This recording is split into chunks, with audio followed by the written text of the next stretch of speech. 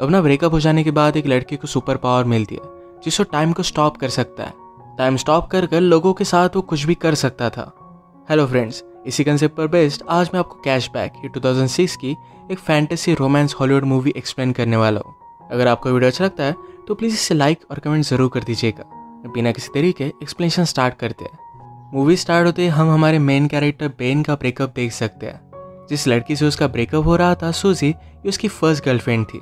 उसके साथ बिताए हर पल उसे याद आ रहे थे। वर्नर करता है कि उसका ब्रेकअप हुआ कैसे। एक पल में तो एक साथ थे, एक दूसरे को आई लव यू बोल रहे थे। और नेक्स्ट वीक सूजी किसी और के साथ थी। तो शायद उसको भी आई लव यू बोल रही होगी, पर इसका कोई भी मीनिंग नहीं है। बेन के फ्रेंड का नाम था शॉन शॉन उसे समझाने की कोशिश करता है, उसे सिर्फ़ एक बेटर ऑप्शन मिल गया। इसी वजह से उसके पास वो चली गई। उसके बारे में तुम्हें ज़्यादा सोचना नहीं चाहिए। तुम किसी ब्यूटीफुल से लड़की को डेट करो। फिर सुजी को जेलस लगेगा और तुम्हारे पास वो वापस आ जाएगी। शॉन का लड़कियों के साथ एक्सपीरियंस बहुत ही घटिया था।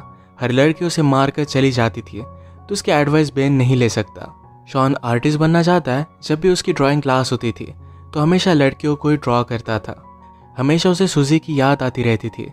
एक रात उसने उसे कॉल किया। उसने पूछा कि क्या हम फिर से एक साथ रह सकते हैं? सुजी ने उसे मना कर दिया। वो दिन रात अपने बेड में पड़ा रहता था। सुजी के जाने के बाद जैसे उसका ऑक्सीजन चला गया था। स्लोली स्लोली उसकी नींद भी चली गई। उसने सोने का बहुत ट्राई किया, पर फिर भी वो कर नहीं पाया। अब सडनली उसके पास एट एक्स्ट्रा आवर्स थे। वो अलग अलग चीज़ें ट्राई करता था, पर फिर भी टाइम पास नहीं होता था। वो कुछ भी करे, सुजी की याद हमेशा उसके साथ रहती थी। एक रात वो ग्रोसरी लेने के लिए गया हुआ था। वहाँ पर नोटिस देखता है कि उन्हें काम करने के लिए स्टाफ की ज़रूरत थी। बहन को नींद नहीं आती तो आठ एक्स्ट्रा घंटे बिताने के लिए यहाँ पर वो जॉब कर लेता है। वहाँ के जब मैनेजर को उसने देखा तो मैनेजर पहले फुटबॉल का प्लेयर हुआ करता था, अब यहाँ का मैनेजर है। ये देखकर बहन रियलाइज़ करता है कि लाइफ इसी तरीके से बहुत फास्ट गुजर जाएगी, पर इसके लिए वो कुछ कर भी नहीं सकता। बेन के साथ एक लड़की काम करती थी इसका नाम था शायरन बेन ने नोटिस किया कि उसका मैनेजर शायरन के साथ बहुत ही अजीब तरीके से पेश आता है। शायरन को यह बात अनकंफर्टेबल लगती है। अपना जॉब करते हुए बेन ने हमसे कहा कि यहाँ सुपर मार्केट में टाइम बहुत ही स्लोली जाता है। इसको ज़रा फास्ट करने के लिए हम एम्प्लॉयज़ अलग अलग चीज़ें करते हैं। हर एक की अलग अलग मेथड है। जैसे शहरन कभी भी टाइम नहीं देखती। जब वो वॉच देखती है तो टाइम बहुत ही स्लो गुजरता है। इस वजह से हमेशा उसे कवर अप करके रखती है। यहाँ काम करने वाले उसके और दो फ्रेंड्स हैं पैरी और मैट ये हमेशा एक दूसरे के साथ गेम्स खेलते रहते हैं। कभी ये शॉपिंग मॉल में रेस लगाते हैं तो कभी लड़कियों के सामान में कुछ अलग सी चीज़ें रख देते हैं। इसी तरीके से हर कोई टाइम पास करता था। और बेन ने कहा, मेरा तरीका कुछ अलग ही है। जब उसका ब्रेकअप हुआ तो उसके लिए टाइम गुजारना बहुत ही हार्ड था। तो एक सुपर पावर उसमें आ गई। ये सुपर पावर थी टाइम को स्टॉप कर पाने की। वो अपनी पावर से सब कुछ स्टॉप कर देता और सारी चीज़ें घूमने लग जाता। सुपर मार्केट की सारी ब्यूटीफुल लड़कियों को नोटिस करता था। उसे लगता है कि लड़कियों में अलग से ही पावर होती है। वो जब छोटा था तो एक फॉरेन स्टूडेंट उनके घर में रहने के लिए आई हुई थी। वो बहुत ही ब्यूटीफुल थी। वो हमेशा उसे देखता रहता था। बेन जब ये टाइम स्टॉप करता था तो हमेशा लड़कियों की न्यू ड्राइंग करता था। उसने एक नॉवल में पढ़ा था कि लड़कियों को पेंटर के साथ अफेयर करना अच्छा लगता है, क्योंकि उनकी ब्यूटी जैसी है, वैसे वो देख सकते हैं। ऐसे ही बेन ड्राइंग करते हुए अपना टाइम गुजारता था और जब वो अनपॉज करता तो बहुत सारा टाइम गुजर जाता। अगले दिन बेन से मिलने के लिए उसका फ्रेंड शॉन आया। शॉन को पता था कि अब भी बेन अपने इस गर्लफ्रेंड के बारे में सोच रहा है। उसे कहता है, तुम्हें जल्द से मूव ऑन करना चाहिए। शॉन हमेशा उसे यही बात कहता रहता है तो इस मूवमेंट को भी वो पॉज कर देता है। एक्चुअल में बेन और शॉन, ये बचपन से बहुत अच्छे फ्रेंड्स थे। जब शॉन की मदर घर से चली जाती तो दोनों मिलकर न्यूड मैगजीन्स देखते। एक दिन जब ये दोनों देख रहे थे तो शॉन की मदर वापस आके वो इन दोनों की फ्रेंडशिप को अलग ही समझती है। आज शॉन बेन से कह रहा था, तुम्हें स्ट्रिप क्लब वगैरह मेरे साथ चलना चाहिए। सुनकर बहन को अपने बचपन का एक किस्सा याद आता है। उनकी स्टेज पर एक लड़की थी, जो पैसों के लिए न्यूड होती थी। ये सारे फ्रेंड्स लाइन लगाकर उसे मिलने के लिए जाते थे। इसके बाद हम देखते हैं, अगले दिन बेन और शायरन की नज़रों से नज़रें मिली थी। लॉकर रूम में शायरन को ज़रा भूख लगी थी तो बेन का सैंडविच मांग लेती है। सैंडविच का पिकल शायरन के गाल पर लग गया था, जैसे कि बॉलीवुड मूवीज़ में होता है। वैसे एक रोमांटिक सा इनका मूवमेंट हुआ। ये मूवमेंट बेन जाने नहीं देना चाहता था, इसे फ्रीज कर कर रखना चाहता था, पर शायरन चली गई। वो कुछ भी कर नहीं पाया। उसे अच्छा लग रहा था कि सुजी से मूव ऑन कर कर, अब वो शायरन को लाइक करने लग गया है। तभी उसके फ्रेंड ने डिस्कस कर रहे थे। मैट कहता है, आज मैंने शारन को डेट के लिए पूछा। मैट इसके लिए बहुत एक्साइटेड था, पर बेन को बहुत बुरा लगता है। बेन हमसे कहता है, हमेशा मेरे साथ ऐसी चीज़ें होती रहती है। तो जिसको भी लाइक करता है, उससे दूर चले जाते हैं। वो जब छोटा था तो अपने टीचर को लाइक करता था, पर टीचर के साथ कुछ भी हो नहीं सकता। उसकी और एक क्लासमेट थी, जिसको बहुत लाइक करता था। एक दिन उस लड़की का एक्सीडेंट हो गया। उसके प्लास्टर पर हर कोई ग्राफिटी बनाता था। बेन हमेशा उसे देखता रहता तो उस लड़की ने उसे अप्रोच किया। बेन ने भी अपनी सिग्नेचर उस प्लास्टर पर बनाई। जब उस लड़की का प्लास्टर निकला तो उसका पूरा हाथ हेयर से भर गया था। सब लोग उसे चिढ़ाने लग गए। वो अकेली पड़ गई थी तो बेन उसके पास आकर बैठा। कहा कि तुम जैसी हो, वैसे ही ब्यूटीफुल हो। इसके बाद एक गर्लफ्रेंड बॉयफ्रेंड बन गए थे। एक दिन बेन ने उसे स्कूल के पीछे बुलाया। उसके पास आई और पूछती है, क्या तुम मुझे किस करना चाहते हो? बेन कहता है कि हाँ पर कल तुम मुझे यहाँ मिलना। कल स्कूल में कोई भी नहीं होता। कल हॉलीडे था तो उन्हें कोई भी डिस्टर्ब नहीं करता। अगले दिन बेन ने उसका बहुत वेट किया, पर वो आई ही नहीं। बाद में उसे पता चला कि उस लड़की का ट्रांसफ़र हो गया है। फिर से हम प्रेजेंट में देखते हैं कि बेन और शॉन बात कर रहे थे। बेन ने शारन के बारे में शॉन को बताया, पर वो ये भी कहता है मैट और शारन आज मूवी देखने के लिए जाने वाले हैं। शॉन ने कहा कि वो सिर्फ़ एज अ फ्रेंड्स मूवी देखने के लिए जा रहे होंगे। उनके बीच में कुछ है, ऐसा कंपलसरी नहीं। पर जब नेक्स्ट डे बेन काम पर जाता है तो मैट अपने फ्रेंड से शारन के बारे में बात कर रहा था। वो बता रहा था कि वो और शारन कल रात इंटीमेट हुए। बेन का दिल टूट जाता है। इसी मोमेंट पर उनके मैनेजर उनके पास आए। कहते हैं, मेरे एक ओल्ड फ्रेंड के साथ मैंने बेट लगाई थी। उसकी टीम के साथ हम सबको मिलकर फुटबॉल खेलना है। इस फुटबॉल मैच पर मैट को सपोर्ट करने के लिए शायरन भी आई हुई थी। इनमें से किसी को भी फुटबॉल खेलना आता नहीं था। तो बहुत ही बुरी तरीके से हार रहे थे।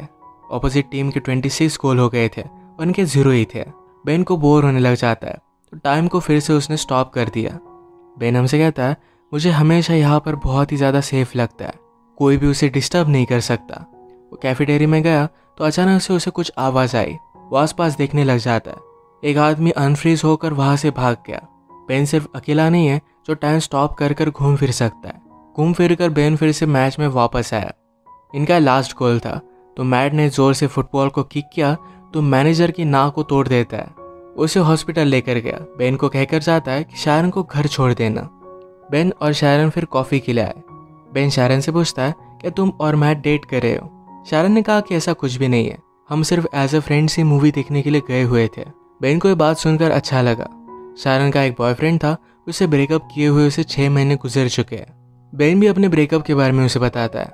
एक दूसरे को और भी जान लेते हैं। शायरन ने कहा कि नाइट में मैं स्पेनिश सीखती हूँ। उसे अलग अलग प्लेसेस घूमना है, वहाँ के लोगों के बारे में जान लेना है। स्पेनिश सीखने के बाद शायद वो स्पेन में जाकर वहाँ पर टीच करेगी।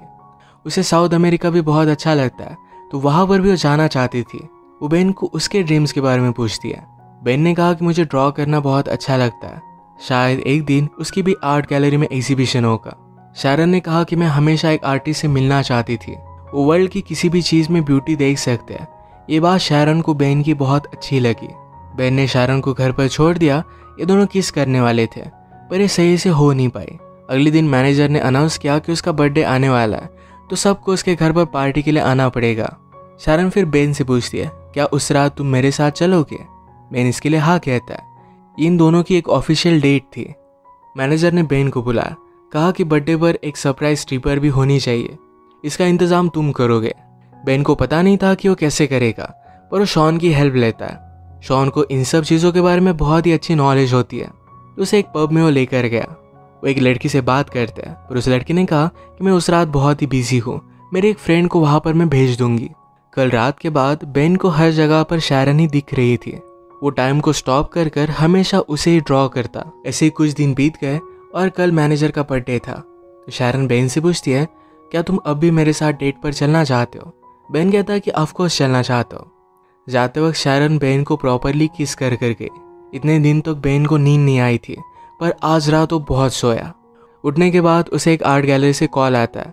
बेन के पिक्चर्स उन्हें बहुत अच्छे लगे थे और उसे मिलने के लिए बुलाया हुआ था। बेन इसके लिए बहुत ही एक्साइटेड हो जाता है, पर सिर्फ़ उसके फ्रेंड मैट और बैरी उसका मज़ा ले रहे थे। रात में बहुत ही अच्छे से रेडी होकर वो शायरन के पास पहुँचा। वो शायरन को अपने आर्ट की गुड न्यूज़ बता देता है। उसे भी बहुत अच्छा लगता है। ये दोनों फिर पार्टी में आए, पर बेन यहाँ पर सुजी को देखता है। पार्टी में इन्होंने ऑर्डर की हुई स्ट्रीपर भी आई हुई थी। ये वही स्ट्रीपर थी जो शॉन और बेन बचपन में देखने के लिए जाया करते थे। शॉन मौके का फ़ायदा उठाकर उसे डेट के लिए पूछ लेता है। शॉन हमेशा लड़कियों से कुछ भी गलत चीज़ें बोलता था, पर ये लड़की उसे बचपन से जानती है तो कोई भी प्रॉब्लम नहीं आएगा। शायद उसकी भी लव स्टोरी यहाँ से स्टार्ट हो जाएगी। पार्टी में बेन ज़रा वॉशरूम के लिए जाता है। तो वहाँ पर सुजी भी थी। सुजी को बेन को शारन के साथ देखकर ज़रा बुरा लगा था। वो रियलाइज़ करती कि बेन उसके लिए परफेक्ट था तो उसे फिर से पाना चाहती थी। बेन उसमें कोई भी इंटरेस्ट नहीं दिखा था। इसी के पैरेलल में हम देख सकते हैं मैनेजर शारन से बात करने लग गया। उसे हरास करने लग जाता है तो शारन इस पर गुस्सा होके और यहाँ से निकलने लग गए। उसने जब ऊपर बेन और सुजी को देखा तो उसी मोमेंट पर सूजी बेन को किस कर रही थी। अगली मोमेंट पर बेन ने उसे झटक दिया था, पर शारन ने देखा नहीं। वो गुस्से में यहाँ से चली गई। बेन रियलाइज़ करता है कि शारन को क्या लगा होगा। उसने टाइम को स्टॉप कर दिया। सोचा कि वो शारन को क्या बताएगा, पर कुछ भी वो सोच नहीं पाता। ऐसे उसने दो दिन तक टाइम को स्टॉप करके रखा था। अनपॉज करने के बाद भी वो शारन को मना नहीं पाता। उसे मिलने के लिए गया, पर शारन उसकी कुछ भी बात नहीं सुनती। उसे फिर से नींद आना बंद हो जाता है। जैसे हमने पहले देखा था कि बेन के फ्रेंड्स ने उसे प्रैंक कॉल कर कर एक आर्ट गैलरी में मिलने के लिए बुलाया हुआ है। तो बेन एक्चुअल में अपना सब आर्ट लेकर उस आर्ट गैलरी में चला जाता है। वहाँ के एजेंट से उसने बात की तो उसकी कोई भी अपॉइंटमेंट नहीं थी। पर एजेंट उसकी ड्राइंग देख लेता है। उसे ड्राइंग्स बहुत ही पसंद आई। वो बेन को अपॉर्चुनिटी देते हैं और अब उसका एक आर्ट शो होने वाला था। इसका इनविटेशन बेन शारन को देकर आता है। इस एग्जीबिशन ने शारन की बेन ने जो भी ड्राइंग्स बनाई थी, सिर्फ़ यही लगाई हुई थी। ये सब कुछ बहुत ही ब्यूटीफुल था। बेन से एक आर्ट के एजेंट बात करने लगे। कहती है, मुझे तुम्हारी ड्राइंग्स बहुत ही पसंद आई वो न्यूयॉर्क से थी तो उसे बहुत बड़ी अपॉर्चुनिटी दे सकती थी। बात करते हुए बेन ने नोटिस किया कि शायरन भी ये शो देखने के लिए आई हुई है। ये आर्ट एजेंट उसे पूछ रही थी कि फ्यूचर में तुम क्या करना चाहोगे? बेन कहता है कि मुझे साउथ अमेरिका में जाकर ट्रैवल करके ड्राइंग करनी है। एक्चुअल में शायरन का ड्रीम था कि उसे साउथ अमेरिका में ट्रैवल करना है। तो बेन भी उसी के साथ ट्रैवल करके ड्रॉ करना चाहता था। शायरन उसकी सारी ड्राइंग्स देखकर बेन को माफ़ कर देती है। बेन फिर से उसे सॉरी कहता है, पर शारन ने कहा कि पेंटिंग्स देखकर मैं सब कुछ समझ गई हूँ। बेन ने पूछा कि क्या तुम मुझ पर ट्रस्ट करती हो? शारन ने कहा कि हाँ करती हो। शारन को उसने आग बंद करने के लिए कहा। उसे किस करता है और उसी मोमेंट पर उसने टाइम को स्टॉप कर दिया। अब जब टाइम स्टॉप हो गया था तो बेन के साथ शारन भी आसपास घूम सकती थी। बाहर स्नो गिर रहा था तो शारन को बेन बाहर लेकर आया। इसी में वो किस करते हैं और इसी के साथ इनकी लव स्टोरी स्टार्ट हुई। बेन हमसे कहता है लाइफ में बहुत सारे मोमेंट्स होते हैं, जो ऐसे ही चले जाते हैं। पर अगर आपको लाइफ की ब्यूटी को अप्रिशिएट करना है, किसी के प्यार में पड़ना है तो एक बार ज़रा रुक जाओ, इस मोमेंट को अप्रिशिएट करो। कभी भी उन्हें जाने मन दो। इसे एक ब्यूटीफुल मैसेज के साथ ही मूवी एंड हो जाती है। अगर आपको वीडियो अच्छा लगा तो प्लीज़ इसे लाइक कर दीजिएगा। बहुत सारी मूवीज़ लेकर आते रहता हो तो प्लीज़ इस चैनल को सब्सक्राइब कर दीजिए और बेल नोटिफिकेशन आइकॉन देने मत भूलिएगा। हम फिर से मिलेंगे और एक नमू के साथ। तब तक के लिए थैंक यू और आप अपने आप का ख्याल रखिए।